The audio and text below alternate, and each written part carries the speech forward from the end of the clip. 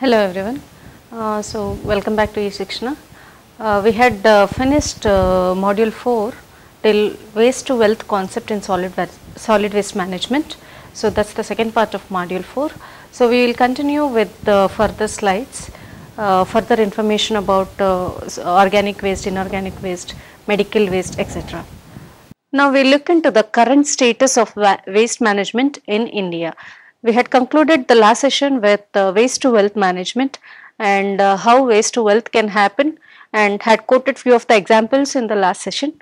So in this session now currently we will see how what is the current status of waste management in India. In India what is happening about waste management.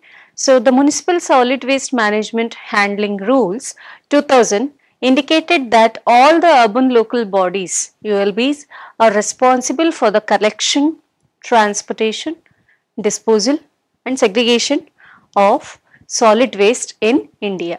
In 2000 it was told to all the ULBs that the urban local bodies are responsible for doing the collection, transportation, disposal and segregation of solid waste in India. So India approximately it generates 62 million tons of waste each year.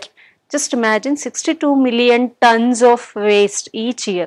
About 43 million tons, only 70% are collected of about which about 12 millions are treated.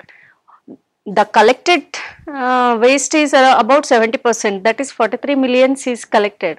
But amongst that only 12 millions, only 12 millions is treated and 31 million goes for the landfills. So the proportion of the treated ones and the landfills is huge. Landfill is happening in a wide range. So with changing consumption patterns and rapid economic growth, since India is a developing country, the consumption rates will be higher and there is a economic growth also. So it is estimated that urban municipal solid waste generation will increase to 165 million tons. Just imagine 2000 in the 2000 year Eh, eh, eh, in the earlier years it was like 62 million tons of waste per year. But by 2030 it is said that 165 million around 5 times more than what is been there. So most of india's dump sites have extended their capacity and height limit of 20 meters 20 meters is approximately of 5 floors 5 even if you keep the average floor height as 3 meters 5 floors building 5 floors height. So the dump sites landfills have become so huge. It's an it is estimated that these sites enclose more than 10000 hectares of urban land. Just imagine urban land is so valuable so precious and 10000 hectares of this is gone for landfill and just for a dump sites. So that is the existing scenario of uh, Indian context. So where do these solid waste generate from? So basically it can be solid wastes can be broadly divided into domestic, domestic is nothing but residential, industrial, commercial from industries, from commercials like malls, business centers, agricultural. Broadly it can be classified into these, right. So medical it also can be generated from medic medical centers, food stores, food distribution points, slaughter areas, warehouses, agency premises, markets, domestic areas. Appropriate solid waste management strategies may vary from institutional, communal and domestic sources depending on the type and volumes of waste generated in the vicinity. Few classification of waste are solid waste.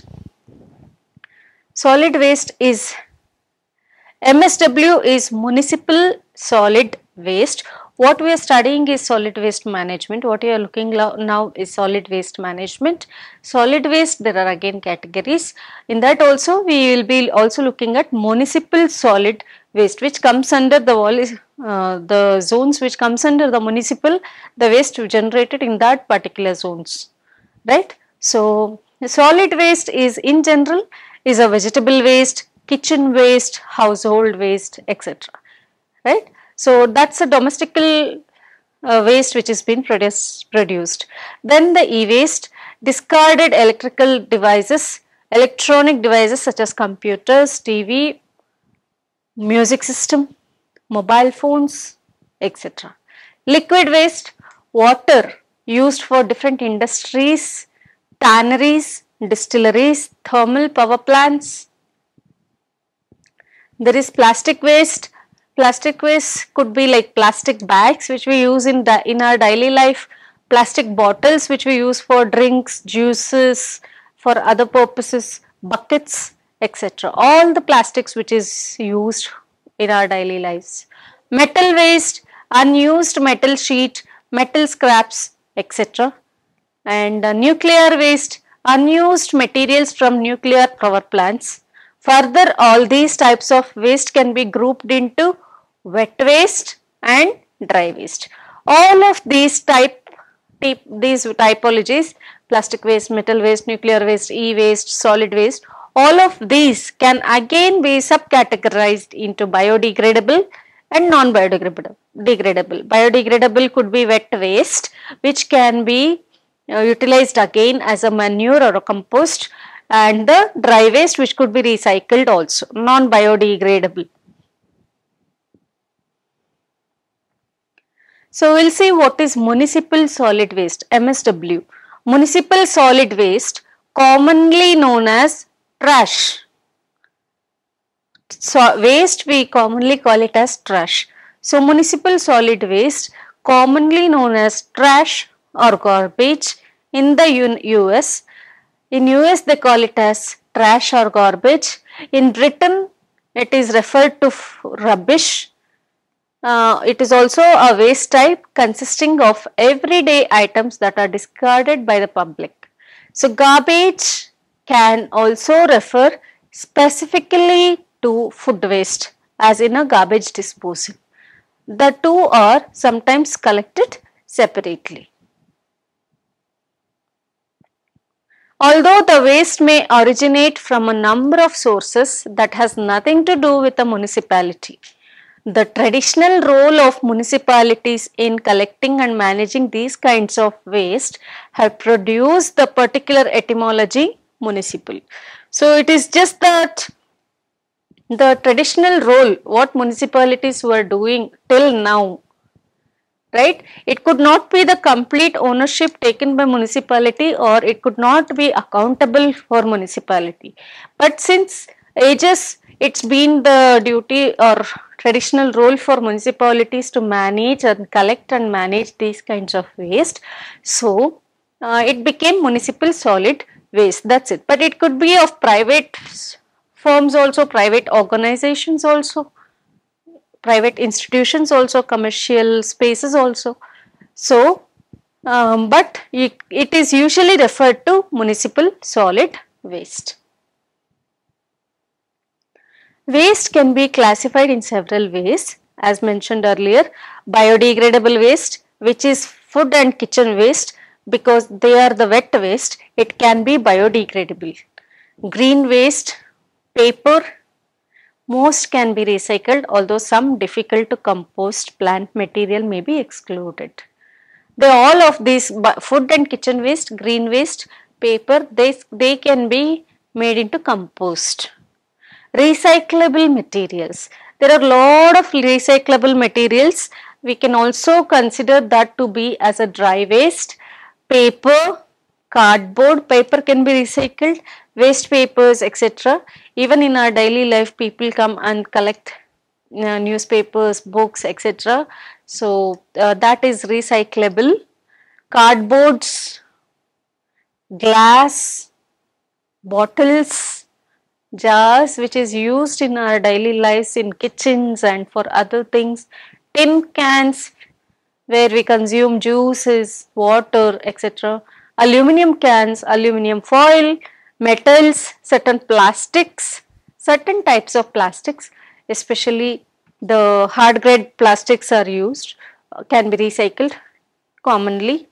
Textiles, clothing, tires, batteries, etc etc. So these can be separated easily at the source itself so it reduces the load on the municipality to manage the waste.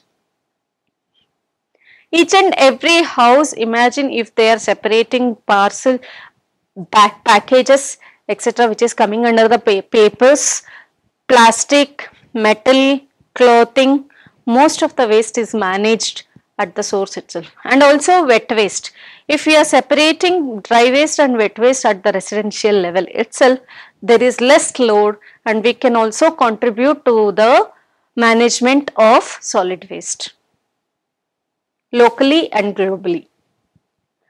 Other type of waste are inert waste. Inert waste is nothing but construction and demolition waste lot of houses, lot of buildings are getting constructed, lot of existing structures are getting demolished or revamped or uh, alterations are done to those. But the management of this waste which has been demolished or the remains of constructions or unused materials of construction is not handled, is still not handled properly. So, which can be referred to as debris, construction and demolition waste can be referred to as debris, dirts and rocks and etc etc. They are called as inert waste also. And we have electrical and electronic waste which comes under electrical appliances, light bulbs, washing machines, TVs, computers, screens, mobile phones, alarms, watches, etc. etc. All of these electrically which we use, they are ca can be categorized into electrical or electronic waste. Composite waste, waste clothing, Tetra Pak food, drink cartons, food and drink cartons, waste plastics such as toys, plastic garden furniture etc. They are all composite waste. Hazardous waste, this is something which has to be, which is, which we are supposed to be in care. Hazardous waste is nothing but, it includes most of the paints, it could be furniture paints, gate paints or uh, it, it could be uh, wall paints which, which are sometimes hazardous chemicals which, which is used in factories and other sectors, tires, batteries, light bulbs, electrical appliances, fluorescent lamps, aerosol spray cans, fertilizers, etc. These are very hazardous. So, it has to be separated clearly. Toxic waste including pesticides, herbicides and fungicides, biomedical waste expired pharmaceutical drugs etc. Sometimes we do not see the, we actually uh, check out what is the expiry date of the medical drugs, pharmaceutical drugs which we obtain. So, they are also waste. So, that also has to be separated. So, for example, typical municipal solid waste in China is composed of 55.9 percent of food residue 8.5 percent of paper, 11.2 percent of plastics, 3.2 percent of textiles, 2.9 percent of wood waste, 0.8 percent of rubber waste and 18.4 percent of non-combustibles. So, basically food residues are high in China. So, like this the separation and categorization helps us in understanding the condition of solid waste generation in that particular area or zones.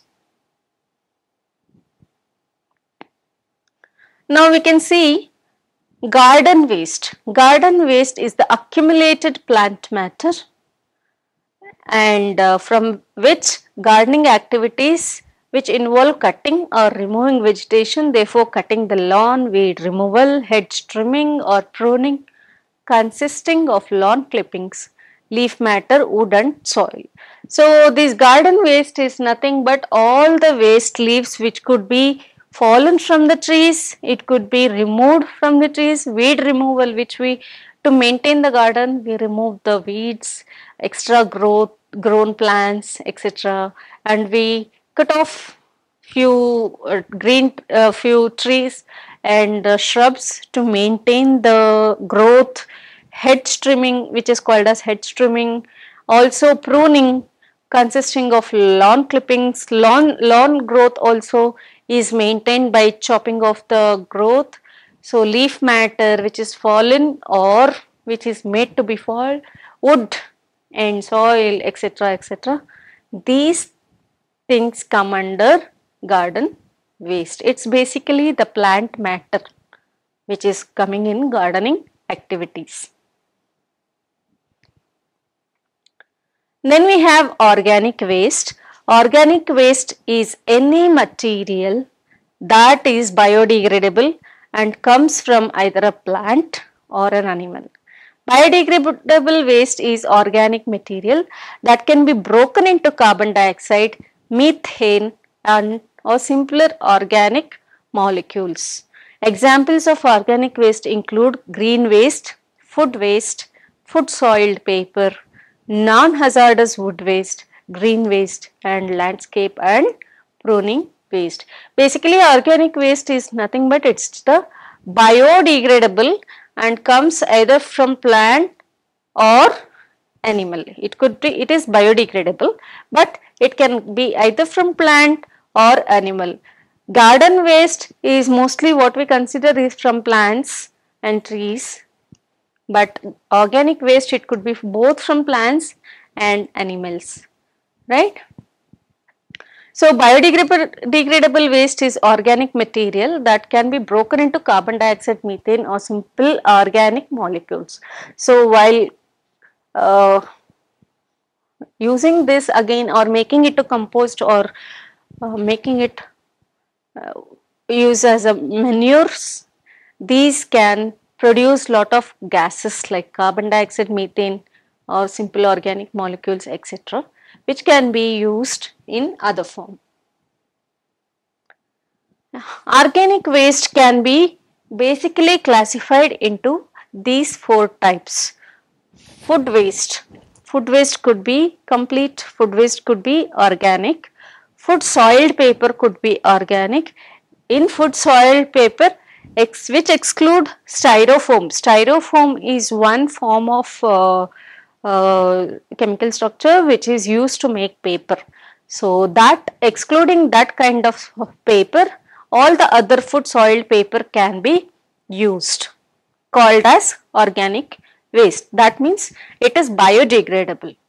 So, food waste could be sandwiches, cheese, vegetables, fruits, cut fruits, fast food, chicken, bread, rice, etc., etc., etc., which is the residues of food waste. Food soil paper excludes styrofoam, includes coffee filters, tea bags, tea bags, ready-made tea bags that comes under now food soiled paper, pizza boxes, the delivery boxes that comes under food soil paper, paper cups and napkins, paper towels, tissues, wrappers, egg cartons, the cartons where egg is placed those are also called as food soil paper, paper plates. So basically all the uh, paper which is used for wrapping or consuming food. So that is food soil paper which is also biodegradable and that comes under organic waste. Then the green waste is biodegradable that also comes under organic waste. This green waste can also come under garden waste also. So in green waste cut flowers, grass, leaves, branches, weeds etc. In non-hazardous wood waste, it could be of a tree, it could be of a lumber, it could be of pallets, it could be of cardboard, plywood, what plywoods are made by trees. So the waste which is developed due to the plywood that is or unusable unused plywood or waste plywood which cannot be further processed or used again they also can come under organic waste.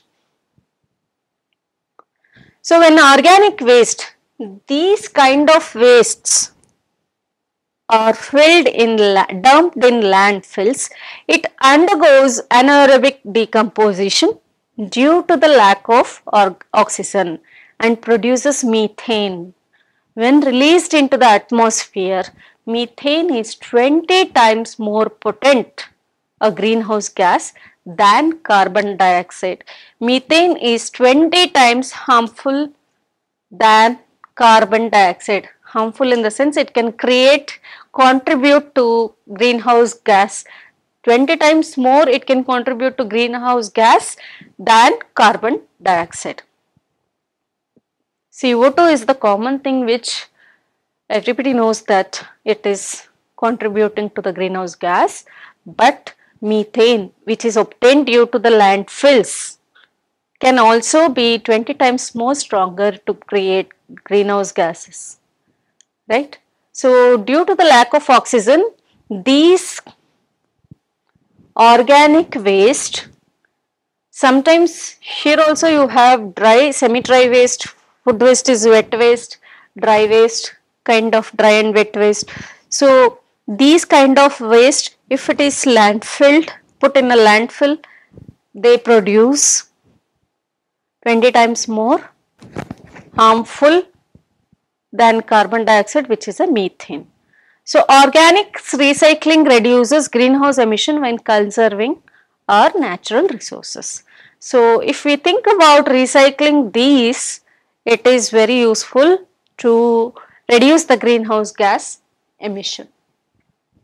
Recycling means these could be used as manures and uh, these could be, be con converted into uh,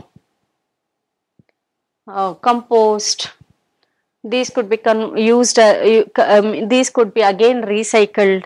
So like this if the separation and reuse happens methane can be reduced greenhouse effect can be reduced. The methane gas generated from food waste is 20 to 25 percent times stronger than CO2 carbon dioxide. Soil with compost is more nutritious and holds water better and has more microbes which makes healthier soil and protects plants from diseases. So, if we can, if we are able to convert this organic waste into compost, we have a better soil, soil degradation is reduced and greenhouse gas emission is reduced. So, it helps in all of this. Recyclable organic waste accounts for about 40 percent of all the materials which California sent to landfills each year. Out of the 40 percent of organic material that sits in landfills, 30 percent could be used for compost or mulch. Every ton of paper that is recycled saves about 17 trees. This is the very very very common saying that every ton of paper, one ton of paper can which, which is recycled can save about 17 trees. Now let's look what is inorganic waste. Inorganic waste is as we saw in earlier definitions it is non-biodegradable. So it is a type of waste that does not contain organic compounds. So this waste is generally very difficult to decompose by microorganisms. They could be glass, aluminum cans, dust, metal etc. are some of the inorganic waste. Inorganic waste remains free from decay. They do not decay but with more than 500 years needed being common for effective decomposition. If it is left on the landfill, it may take more than 500 years, each material has different value for decomposing on its own in a natural way. So, it could be more than which might cross more than 500 years. Therefore, disposal can be challenging. So, better way to uh, cut off the inorganic waste is reducing the consumption. In the first place itself, consuming those kind of bottles, uh, bottles used for something, glass used for something, metals used for something could be reduced at the first place itself. So, reducing consumption of these, reusing or recycling these products, waste products will help in cutting off or coping the uh, organic waste. Disposing, how can we dispose inorganic waste? Most people feel that disposing inorganic form of waste items like glass or plastic turns out to be a daunting task. However, it is equally important to understand this type of waste is non-biodegradable, right. So, therefore, they turns out to be unfriendly and harmful to the environment for long period. So, one of the best ways of disposing inorganic or chemical waste is by recycling the same if it is created. The other way is cutting off the usage of that at the first place itself, reducing the consumption. With the help of the latest technological advancements, now it is possible to recycle almost all types of inorganic wastes. As we know, glass can be used again to prepare a glass. So, the uh, only thing is separation and uh, making it reach to the venue where recycling can happen that is the main issue. So, that is where we have to look into how it can be done in each and every setup voluntarily.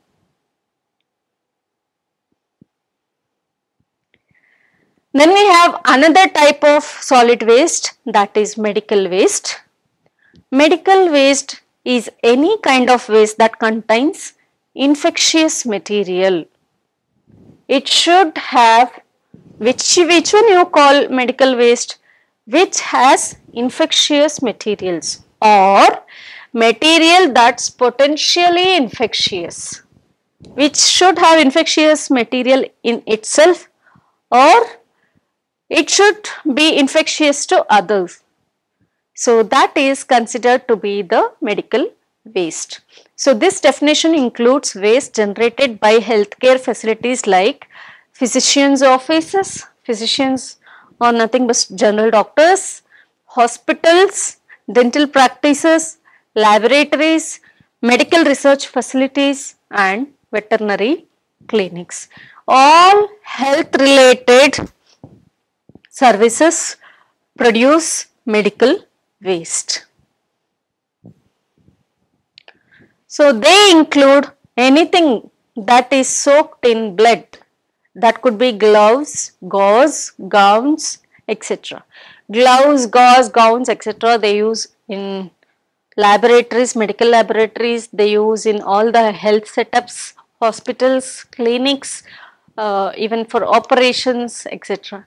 So, those things has to, those are those considered to be infectious. So, that comes under medical waste. Human or animal tissue created during procedures.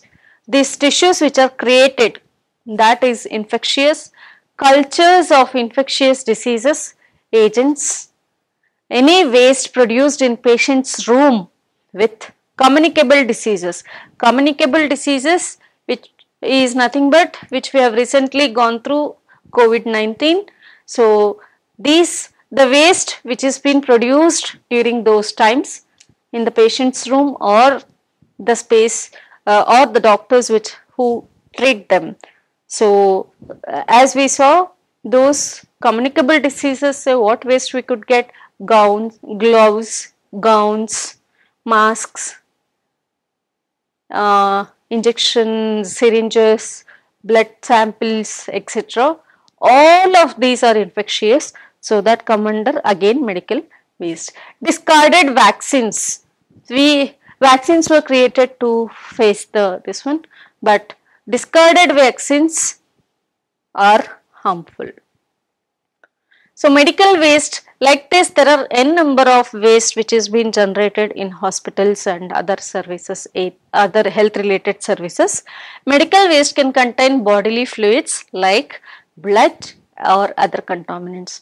The 1988 Medical Waste Tracking Act defined it as waste generated during medical research, testing, diagnosis, immunization or treatment of either human beings or animals. Some examples are cultural culture dishes, glassware, bandages, gloves, discarded sharp needles or scalpels, swabs, tissues, etc. They used to do during COVID-19 also we all uh, have gone through uh, swab testing etc. Those swab testing ke what they use, they use this cotton and uh, whip.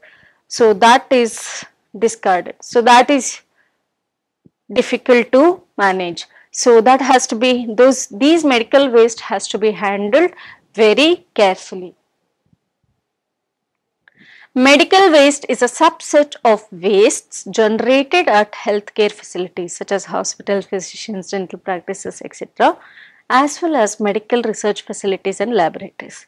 Generally, medical waste is healthcare waste that may be contaminated by blood, body fluids and potentially infectious materials and is often referred to as regulated medical waste. It is also can be termed as regulated medical waste. So, these are few different names which can be given for medical waste. It can be called as medical waste, it can be called as biomedical waste, clinical waste, clinical waste and other things these just can doesn't mean that which has been produced from the same place like only from the clinics what waste is produced it is not clinical waste. From it could be from the larger setup smaller setup laboratories etc but it, all the medical waste can be called under these names. It can be called as health healthcare waste infectious medical waste regulated medical waste biohazardous waste clinical waste biomedical waste medical waste. So the terms are used interchangeably but there is a distinguish between distinction between general healthcare waste and hazard med, hazardous medical waste. general healthcare waste and hazardous medical waste. These can be distinguished uh, clearly. The distinction among these is very clear. So, all of these can be called to the same thing, but Again in that it can be separated as general healthcare waste and hazardous medical waste. The, the WHO World Health Organization categorizes sharps, they categorize sharps, sharps could be syringes, uh, knives which is very sharp etc. Human tissue, fluids, contaminated supplies as biohazardous. They are considered as biohazardous. Non-contaminated equipment and animal tissue as general medical waste. General medical waste is general healthcare or medical waste is animal tissue and non-contaminated equipment. In fact, office paper, office paper in the sense the office which is set up in hospitals, clinics, uh, laboratories, clinics, small, all types of clinics like dental, operation theatres, etc. nearby. So, office sets, office setup which is there in this particular uh, facilities. The paper which is produced from there, sweeping waste, sweeping waste from these setups, kitchen waste, from healthcare facilities. Office sweeping waste, kitchen waste from healthcare facilities is still technically medical waste though it's non not regulated and not hazardous. It is not hazardous but they are also considered to be medical waste. Technically they are also medical waste. So sharps means nothing but they include pierce that anything which can pierce the skin of a human body, so which includes needles, scalpels, lancets, broken glass, razors, ampules, staples, wires and trocars. All of these which can pierce easily into the skin, easily or not easily whatever it is, but it can pierce into the skin of a human body that is sharps. Infectious waste is nothing but anything infectious and potentially infectious goes in this category including swabs swab test which which they do usually for finding out some cultures and uh, tissues excreta human excreta that is human waste equipment and lab cultures so these are highly infectious radioactive. Again we can have subcategory for all of this. So radioactive this kind of waste generally means unused radiotherapy liquid or lab research liquid. It can also consist of any glassware or other supplies contaminated with this liquid. Then pathological waste.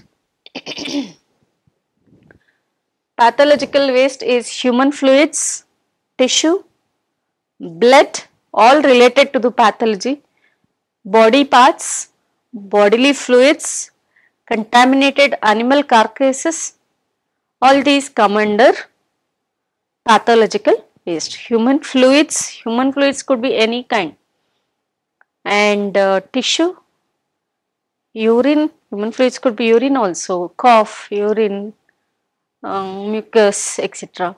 Blood, body parts, body parts of the human body, it could be eyes, nose, legs, etc., kidney, bodily fluids and contaminated animal carcasses are pathological. Pharmaceuticals is nothing but as the name itself says which is generated from the pharmacies.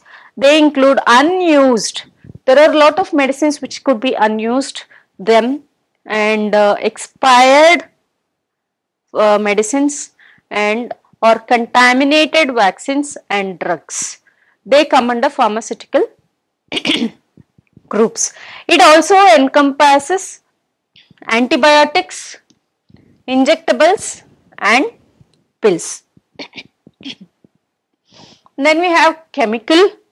Chemical is mostly related to the laboratory purposes. So these are disinfectants, solvents used for laboratory purposes batteries and heavy metals for, from medical equipments such as mercury from broken thermometers etc.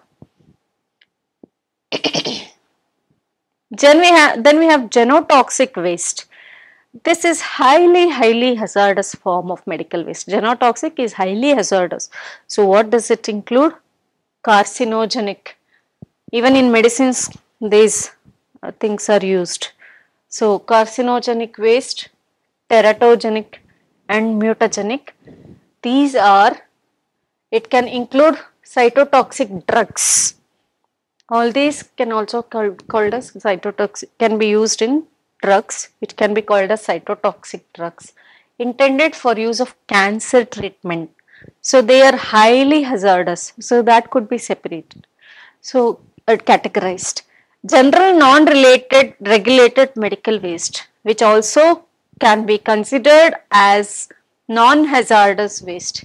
Non-regulated general medical waste can also be considered as non-hazardous waste. So, this type does not pose any particular chemical, biological, physical or radioactive danger. So, we could see that all broken syringes, uh, injection uh, bottles which is there, they also can come under medical waste. So, now what, what happens with this medical waste? That is definitely treated separately. So, uh, it can be treated on site or off site. On site medical waste treatment, the on site treatment of medical waste is generally limited to large, well-moneyed hospitals and facilities. On-site treatments of medical waste like well moneyed hospitals is nothing but huge, large, who have sufficient, uh, who are well equipped with sufficient infrastructure and spaces and uh, economy to maintain the on-site treatment is uh, what we categorize as well-moneyed hospital. So, they can have on-site treatment in the location of a hospital itself they can have the treatment center also for these waste products. So, on-site treatment is extremely cost prohibitive that's because the required equipment is expensive to buy, expensive to maintain and expensive to manage and run. The regulatory maze around such equipment and its use presents yet another barrier to entry. There are a lot of regulations to manage and run the on-site medical treatment. So, that uh, for the approvals and all the regulatory systems there is, it is uh, all the regulatory systems and approvals also is like a barrier for having this on site. Off-site medical waste treatment is very very common. It is far far more far better far more cost effective. It can be not called as better but then it is far more cost effective option for most small sized and mid sized medical practices and facilities. If there is some small clinic or uh, very mid sized uh, hospitals or uh, 2 to 3 uh, uh, super specialty hospitals. So, very mid sized practices and small sized practices can afford to very easily afford to give the medical waste off site. Off site medical waste treatment is nothing but the waste which is produced by these facilities, they are given outside for the treatment. That means they are whether recycled or done, anything else is done to that is managed outside the vicinity. So that works out cost effective for small practices and medium practices. Third party vendors whose main business is healthcare waste collection and disposal have the equipment and training needed to handle the process. So, there are a lot of third party vendors who collect these wastes generated from these hospitals and they can dispose. They know how it has to be disposed, how it has to be managed. So, they can handle the process easily. They are also well trained for this purpose. No matter where medical waste is processed, it's ultimately treated. How it is treated? It is treated by these processes. Incineration, autoclaving, microwave, biological or chemical treatment. So, these five methods could be adapted to treat different different categories of medical waste. Whether it is done on site or off site, these five methods or few of these methods could be adapted to manage few of the medical wastes. So, we will just see what is the uh, just uh, we will just give an introduction about these things. So, first and foremost incineration which is very common kind of treatment for medical waste. Incineration once by far the most popular method. It's very, very popular method which has decreased in usage since 1990s and as regulation has forced other methods to come online. So, incineration before 1997 over 90 percent of all infectious medical waste were disposed of by incineration. Changes to EPA regulations has led providers to seek other disposal means. This is still the only method used on pathological waste. Pathological waste is nothing but which is related to human body such as body parts, blood, etc. recognizable tissues. For these there is no other way than incineration. Incineration is nothing but burning. So autoclaving. Autoclaving is one more method. Here steam sterilization renders biohazard waste non-infectious. After it's been sterilized, the waste can be disposed of normally in solid waste landfills. So, autoclaving what they do is they put all of these most of the waste for steam sterilization. Steam sterilization taken takes place in autoclaving method and what does it do? It makes biohazardous waste to non-infectious. It converts biohazardous waste into non-infectious. So, after it's been sterilized, after it has gone in the steam sterilization process, the waste can be directly disposed into the solid waste landfills or it can be incinerated under less stringent regulations. So, the next one is biological uh, method. Biological method is an experimental method of treating biomedical waste which uses enzymes to neutralize hazardous infectious organisms. It is still under development and rarely used in practice. So, they are still trying options of it, but then it is not in use as much as other methods like autoclaving and incineration. Microwaving, this is another way to render hazardous healthcare waste uh, non-hazardous is to microwave it with high powered equipment. As with autoclaving, this method opens up the waste to normal landfill disposal or incineration afterwards. So, it, this is also very similar to autoclaving. Autoclaving what happens? Steam sterilization is done in autoclaving method and uh, it makes it non-biohazardous, non-hazardous. So, the similar concept is used for microwaving also. Microwaving is to reduce the hazardness of the waste and uh, high powered, it is a high powered equipment. So, after this it can be used again for landfill and sent to landfill and other methods. So, chemical this is again one more method which is which can be used for waste treatment waste treatment. Some kinds of chemical waste uh, may be neutralized by applying reactive chemicals that render it inert. Inert means it is of no use. So, chemical waste may be neutralized by applying reactive chemicals are used to make it of no use and later this is generally reserved for waste that is chemical in nature. This is mostly for chemical, uh, chemical waste which is produced in the medical setup. So, this completes your uh, medical waste treatment methods. We will look into the other types of uh, um, waste in the next session. Thank you.